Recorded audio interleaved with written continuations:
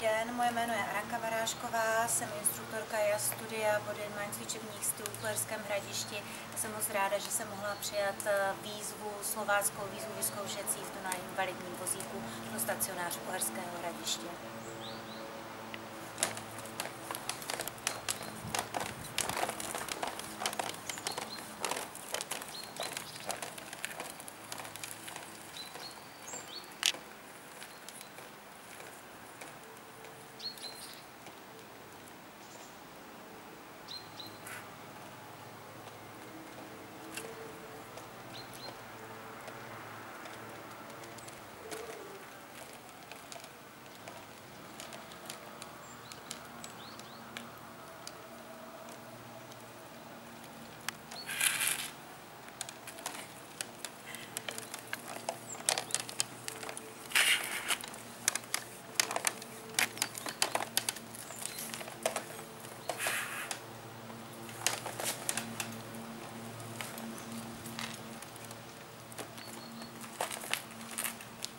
Tak, úspěšně v cíli, tam a zpátky. Já myslím, že uh, to není snadná záležitost, tak celkem jsem trénovaný člověk a zadýchala jsem se, unavila mě ta trať.